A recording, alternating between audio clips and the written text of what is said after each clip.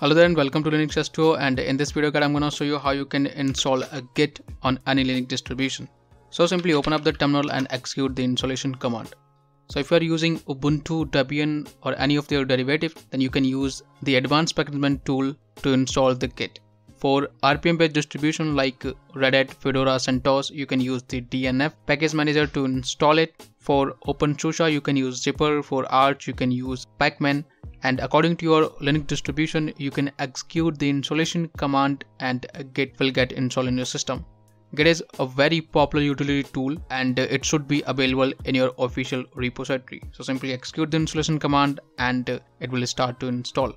So this is Ubuntu so I'm going to execute the advanced packaging tool and installation command for the git.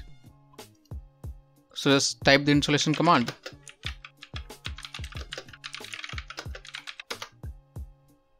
it should ask the password type in the password and then you will see the installation process.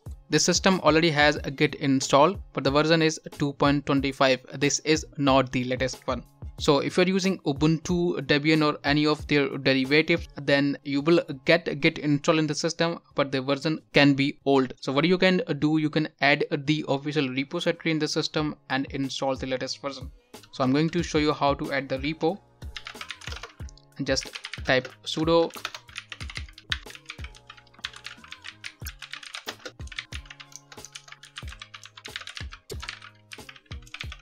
Hit the enter.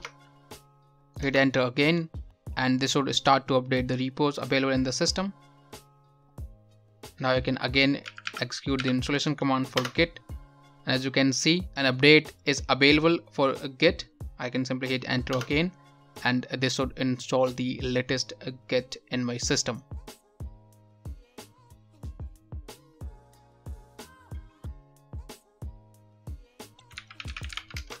You can verify the currently installed version by typing git hyphen hyphen version and this would output the current available version in your distribution. So this is how you can install a git on any Linux distribution and now you can simply start setting up your project and uh, connect it with any repo management service like github gitlab bitbucket etc etc so this was the guide. I hope you find it helpful. Leave a like to the video. Hit the subscribe if you haven't and let me know what you think about it in the comment section below. I shall catch you in the next one. Till then take care and keep enjoying linux